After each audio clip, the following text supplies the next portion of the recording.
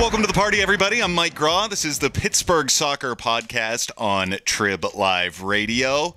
It was an interesting weekend for the Pittsburgh Riverhounds. We'll be getting into all the fallout from Saturday night's matchup against New York Red Bulls 2 throughout the Pittsburgh Soccer Show. Uh, Riverhounds beat writer for the Tribune Review, Matt Grubba, will be joining me a little bit later on. But we're going to focus on the positives around the Riverhounds right now. And to do that, I'm very pleased to be joined in studio by Riverhounds in game host, Veronica Buccilli, Hello. who Pittsburgh sports fans may be familiar with, a familiar face from her days serving in a similar role with the Pittsburgh Power. Yes. And now with the Riverhounds in your first year in this capacity with the Riverhounds, if I'm not mistaken. It is, yes, And tell us is. a little bit about what your role is within the organization and what you do for the Hounds. Okay, so um, I am technically the in-game host for the Hounds. So I'm at all the home games.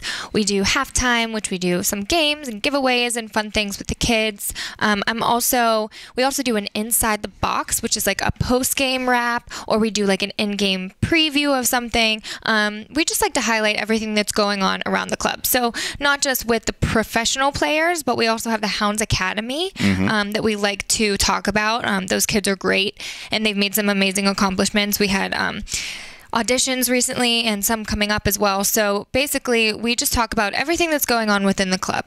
Uh, we like to touch on the uh, pub that we have, uh, you know, the Golden Hound beer that's new this year. So the Inside the Box segment is basically just everything that's going on. It gives fans a quick visual look of what's going on, um, all elements of what we're doing. Nice here. look behind the scenes with the younger kids, not just first team necessarily Right. Mm. or in game recap or game recaps, Yeah. but everything that goes into the organization. Exactly, exactly. Everyone's familiar um, with you know whether we win or lose for the most part, but we like to dig in a little deeper and show the fans that there's also other things that the organization is getting their hands into, um, especially with charity and things going on around the city.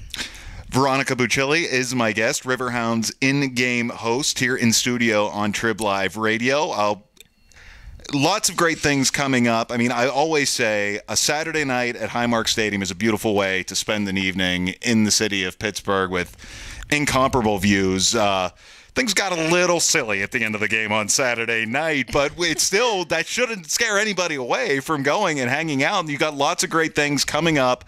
Uh, a busy time of the season. Hopefully, the bad weather is behind Hopefully. the Riverhounds, and we get some more pretty nights coming up and good evenings to spend out there. So I see you guys have lots of stuff planned to uh, uh, make an already attractive option even better for fans and families that are thinking about coming out. Exactly. I mean, if you haven't been to Highmark Stadium, the view is incredible.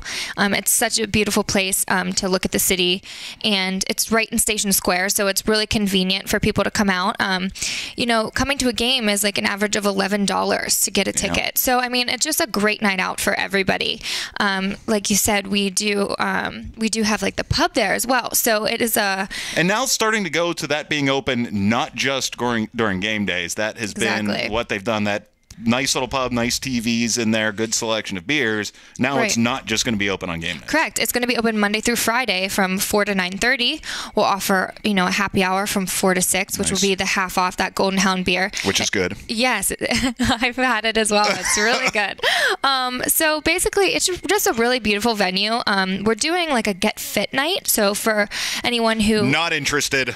anyone who likes to be active, unlike Mike, um, you guys are welcome to come down. Um, when are you guys having a laying on the couch night? um, you know, we just celebrate those people every game. All right, fair enough. So you're welcome anytime. Fair enough. Yeah. Tell me about Get Fit Night. Couch potato. Um, no. So Get Fit Night is May 21st. So you'll basically get three dollars off a ticket if you ride your bike. Hmm. Um, so that's just kind of you know enticing people a little bit to get a little more active. Um, and it's a great place to ride your bike down there as, as well. So Sure.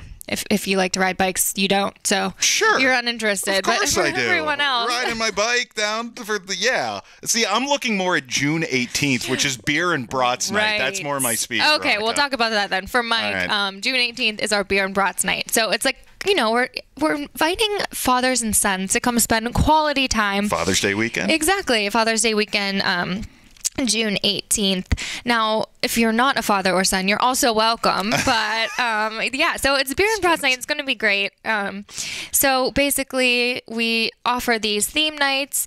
Last week we had a superhero night, which was really great. We were honoring um, the heroes of breast cancer awareness and those survivors. So we had a great turnout for that, and we just want to continue with fun things like that throughout the season. Um, just make it more about you know the Pittsburgh community and getting people out and to see the beautiful venue and also soccer, which is also a fun, um, a fun thing too. A nice part of it. A nice part of it. Soccer fans also like, but you've already got the soccer fans' interest. What you want to do is get more families and kids Yeah. and stuff like that. And it's a great spot to do that affordable night out for the family. Absolutely. Yes. Uh, wanted to talk about the U.S. Open Cup because this was such a big uh, interest in the Riverhounds. In my experience, had never been higher than it was when DC United came to town for a U.S. Open Cup match last year. The MLS team, uh, over 4,000 people packed into Highmark Stadium. Uh, a, a great match that went extra time. Eventually, uh, DC did end up winning and defeating the Riverhounds and eliminating from that tournament. But it was a great run and a great showcase for soccer in Pittsburgh. Getting underway with the U.S. Open Cup yet again. Wednesday, May 18th, will be their first game in the U.S. Open Cup this year. A couple of Titans awaiting the Riverhounds. On May 11th, there will be a match between the Lansdowne Bhoys and the Long Island Rough Riders. The winner of that will move on to take on the Pittsburgh Riverhounds on May 18th in U.S. Open Cup.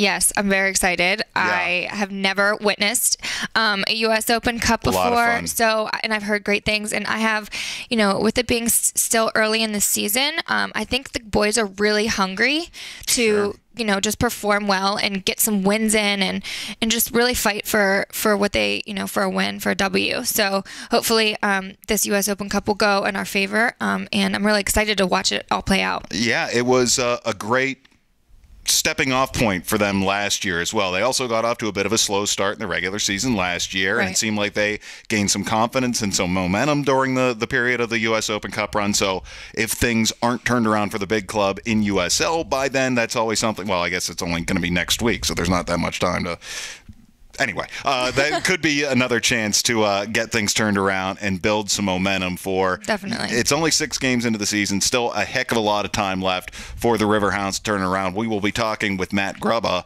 of the Tribune Review about what went on Saturday night in just a little while and all the fallout from that. But we're talking about the positives and getting people out there to see it. it they won't all turn out like that, like Right. they did on Saturday night. Another one you wanted to mention, always a great cause. First Responder Night also coming up at Highmark Stadium. Yes, on June 4th. And this is um, just amazing to honor our first responders. Um, I have a lot of, you know, people who are in uh, the military and, you know, who are cops. And I just think it's so amazing, um, especially in light of things that have been happening in the media and around the world with, um, with the um, police officers, that we honor them and know that they are respected here around the city.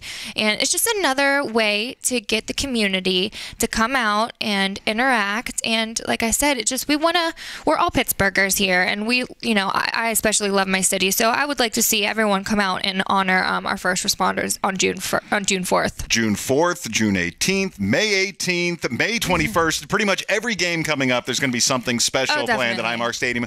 Go to riverhounds.com for more details about all the events that are coming up.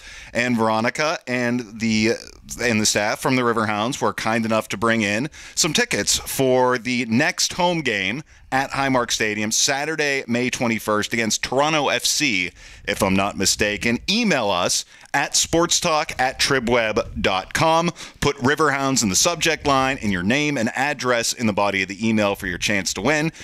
Even if you don't, if you if you listen to the podcast tomorrow or Wednesday, whatever it might be, we won't draw this until later on in the week. So you've got plenty of time to get in your entry. Sportstalk at tribweb.com. Riverhounds in the subject line, name and address in the body of the email for your chance to win tickets to the next Riverhounds game at Highmark Stadium, Saturday night, May 21st. Pittsburgh Riverhounds in game host Veronica Buccilli. Yes. Thank you so much Thank you for having me. for me. coming up and telling Yes. us about what's going on with the team. It had to have been a very interesting weekend for everybody Very involved with the. Pittsburgh Yes. Riverhounds and looking forward to putting that behind and moving on to the more Absolutely. positives of the remainder of the season. Absolutely. You're a delight as always, Thank Veronica. Mike. Thank you for coming up. We'll talk to you again soon. We'll see you at Highmark Stadium. All right, Mike, see you there. All right, Matt Grubba, Riverhounds beat writer for the Tribune Review, will be joining me in studio shortly. This is the Pittsburgh Soccer Podcast. I'm Mike Grau on Trib Live Radio.